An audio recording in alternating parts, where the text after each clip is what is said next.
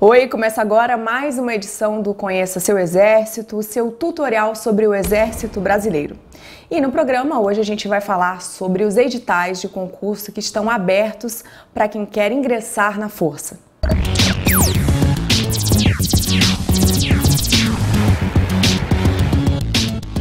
Bom, pessoal, eu dei uma lida nos comentários do YouTube, do Facebook e vi que tem muita gente com dúvidas sobre como entrar no Exército, como servir no Exército. Então, a primeira dica que eu vou dar para vocês é acessar o site do Exército, www.eb.mil.br, e lá no canto da página, no canto esquerdo, lá no alto, clicar no primeiro link, como ingressar. Lá vocês já vão ver várias informações que com certeza vão tirar algumas dúvidas, tá bom? Mas agora a gente vai falar especificamente sobre três editais que estão abertos até o dia 4 de agosto. Atenção, hein? 4 de agosto. Esses editais são oportunidades para quem quer estudar engenharia, para quem já tem graduação e para quem tem alguma formação teológica. Vamos lá conferir? O primeiro edital que a gente vai falar é do Instituto Militar de Engenharia, do IME. Pessoal, o IME fica num lugar muito bonito do Rio de Janeiro lá pertinho do Pão de Açúcar, na Praia Vermelha.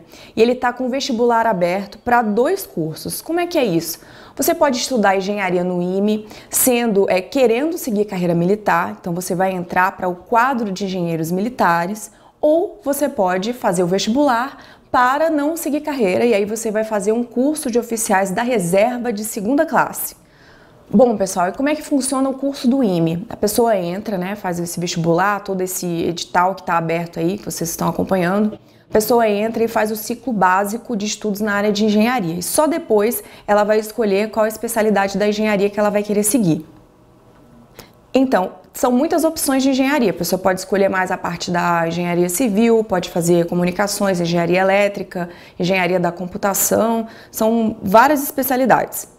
E, em paralelo à formação do engenheiro, acontece também o curso de formação militar. Então tá, agora esse, esse vestibular do IME ele está aberto para pessoas entre 16 e 22 anos, homens e mulheres. A pessoa tem que ter essa idade entre 16 e 22 anos até 31 de dezembro da data de matrícula no curso, tá certo? Este ano o IME está oferecendo 98 vagas é, no total, né? E a pessoa vai passar não só por uma prova é, de exame intelectual, mas também tem que passar por inspeção de saúde e também fazer um teste de aptidão física, que tem corrida, abdominal e flexão de braço. Bom, pessoal, é muito importante que vocês leiam direitinho o edital para esse vestibular, tá? Ele está disponível no site do IME, www.ime.eb.br. Lá você baixa o edital e também o manual do candidato. Ok, então agora eu vou falar sobre o concurso que eu fiz, concurso para entrar no quadro complementar de oficiais do Exército, o QCO. Ele é um concurso para quem quer ser militar de carreira, é, chega até o posto de coronel e a pessoa para entrar já tem que ter alguma formação de ensino superior.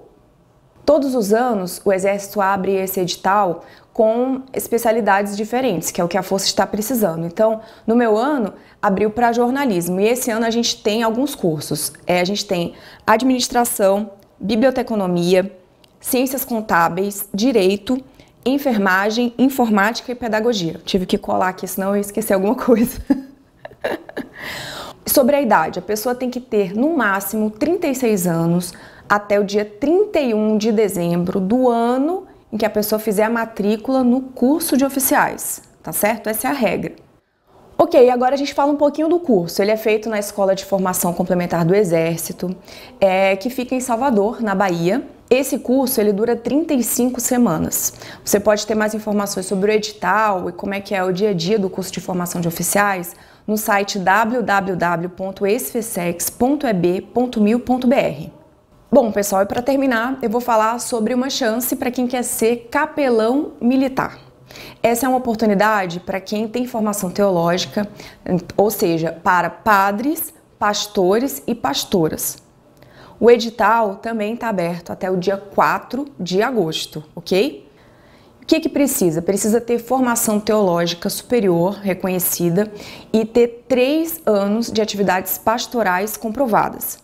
E também, se você quiser saber mais sobre como é a formação desses capelães militares e sobre o edital do concurso, você também vai encontrar no site da Escola de Formação Complementar do Exército, www.esfesex.eb.mil.br.